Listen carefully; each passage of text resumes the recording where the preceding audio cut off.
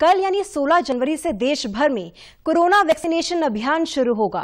Vaccination अभियान को लेकर उत्तराखंड में तैयारियाँ पूरी हो चुकी हैं। वैक्सीन सभी जिलों में पहुंचाई जा चुकी है।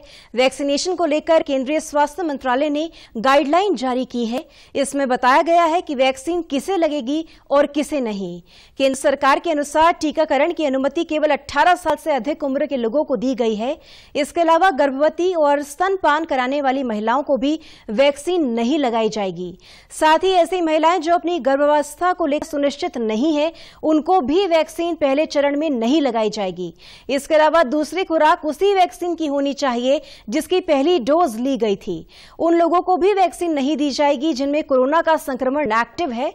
साथ ही ऐसे लोगों को भी टीका नहीं लगाया जाएगा, जिनका गंभीर बीमारियों के कारण अस्पतालों में इलाज चल रहा है। देश भर समेत कल से देहरादून जनपद में भी कोरोना वैक्सीनेशन अभियान शुरू होने जा रहा है। देहरादून जिलाधिकारी आशीष श्रीवास्तव ने बताया कि ज़िले में आज अस्पतालों को वैक्सीन भेज दी गई है। कल चार अस्पतालों में वैक्सीन लगाई जाएगी। ऋषिकेश, एम्स और मिलिट्री अस्पताल में भी वैक्सीन लगाई जाएगी। इस अभियान के तहत अट्ठाईस वैक्सीन प्राप्त हुई है। प्रत्येक टीकाकरण केंद्र पर एक दिन में सौ लोगों को वैक्सीन लाई जाएगी। कल 16 तारीख को चार जगहों पर टीकाकरण अभियान शुरू होगा।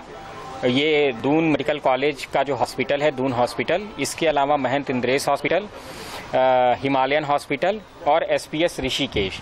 इन चार जगहों पर शुरू किया जाएगा। इसके अलावा सेंट्रल गवर्नमेंट इंस्टीट्यूट एम्स में और जो मिलिट्री हॉस्पिटल है, एमएच देहरादून।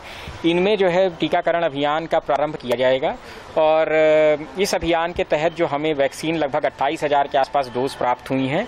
उनको वैक्सीनेशन की प्रक्रिया कल से शुरू की जाएगी। वहीं उत्तराखंड में कोरोना के नए स्ट्रेन ने दस्तक दे दी है।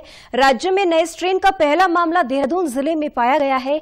जिलाधिकारी ने बताया कि मरीज़ को पहले से ही आइसोलेट कर लिया गया था। मरीज़ के कांटेक्ट में आने वाले लोगों को ट्रेस कर उनकी सैंपलिंग भी की जा रही है। जो है उनको, जिनके अंदर ये पुष्टि हुई है, उनको हमने पहले से ही आइसोलेट कर रखा था। और इसके अलावा वो आइसोलेशन में हैं और उनका अभी सैंपल्स जो है दोबारा भी कन्फर्मेटरी टेस्ट के लिए जाएगा और उनके जो कांटेक्ट हैं, उनके कांटेक्ट को ट्रेस किया जा रहा है और उन सारे कांटेक्ट को भी जो है वो उनकी सैंपलिंग आज की जाएगी।